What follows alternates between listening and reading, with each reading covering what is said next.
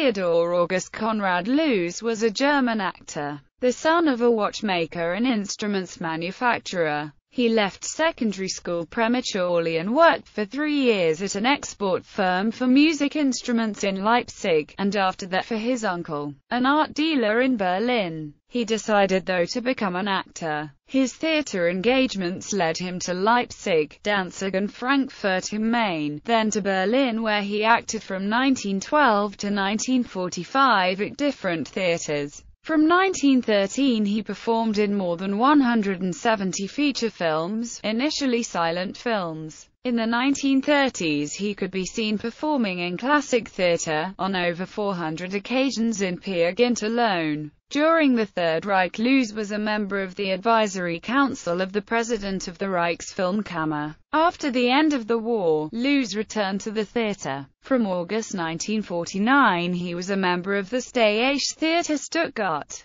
His two sons both died in the Second World War. Selected filmography Frau Eva, Figures of the Night, The Solemn Oath, Lady Hamilton, The House in Dragon Street, Othello, Die Nibelungen, Claire, Manon Lescaut, Metropolis, Bigamy, The Weavers, Prince Louis Ferdinand, Luther, Queen Louise, The Schorrsiegel Affair, Spies, Atlantic, Napoleon at St. Helena, Ludwig II, King of Bavaria, The Great Longing, The Flute Concert of Sans Souci, York, 1914, The Other Side, M. Eine Stadt sucht einen Mörder, Sacred Waters, Marshall Forwards, Eight Girls in a Boat, A Shot at Dawn, Trenck, The Eleven Schill Officers, Das Testament des Dr., Mabuse, Death over Shanghai, The Peak Scaler, William Tell, A Woman with Power of Attorney, The Higher Command, The Girl from the Marsh Croft, The Mystery of Betty Bonn, Monica, Shadows over St. Pauli,